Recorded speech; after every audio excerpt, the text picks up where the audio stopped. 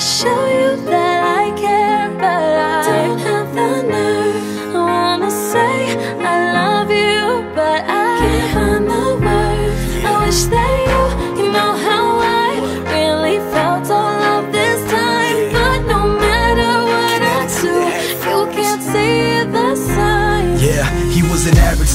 He partied often and he sagged his jeans. Sat in the very back of the class so he could nap and dream. And fantasize about the girl he was obsessed with. The one who stole his heart and always kept it. Cause ever since the seventh grade, she was always standing in his center stage. But every time he tried to talk to her, she would just step away.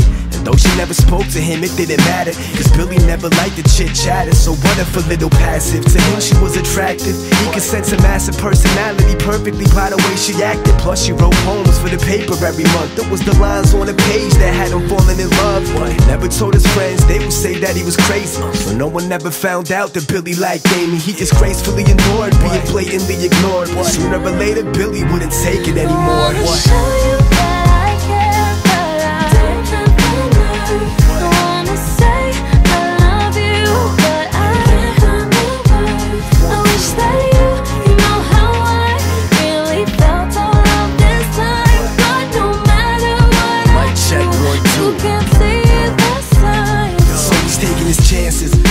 of all the wasted advances. Sick and tired of never having dates for the dances. If he wanted Amy, he needed to step it up. So one day he stopped by your locker to confess his love. And he told her that she was beautiful, then lit up his sky. Like Columbus with a compass, will get lost in your eyes. But she didn't respond, gave him a weird look. She tried to give him a shrug, but she was carrying books. That was all that it took. He put himself out there and he got crushed. So he had to run away before the tears rushed. A whole week he locked himself in his apartment, cause he didn't have the strength to face the world so broken hearted. After seven days of darkness, got a letter in the mail. But before he even looked at it, he let that ship sail. He was too concerned with all the sadness in his life, so instead of a letter opener, he grabbed the kitchen knife.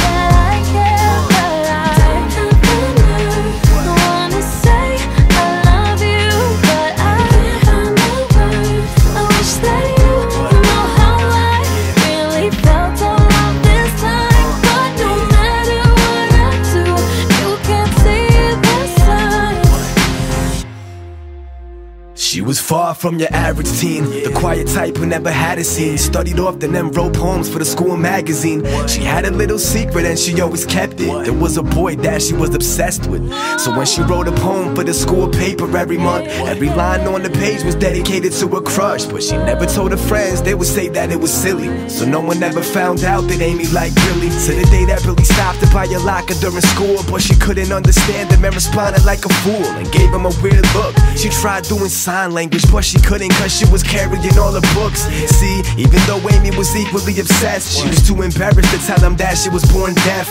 Avoided him at school, but to make her love known, she would leave him little signs through the lines of her poem. So she sent one to his home after seven days passed, cause it seemed like Billy wasn't showing up to class. So she's going home confused, trapped in a worst mood, flipping on the TV to a tragic story on the news. What's the picture of your average teen? All it said was this. Vocal teen suicidal with a knife to his wrist. At the scene where he died was a letter never read from a girl named Amy, and it said. I wanna show you that I care, but I don't have the nerve. I wanna say I love you, but I can't find the words. I wish that you, you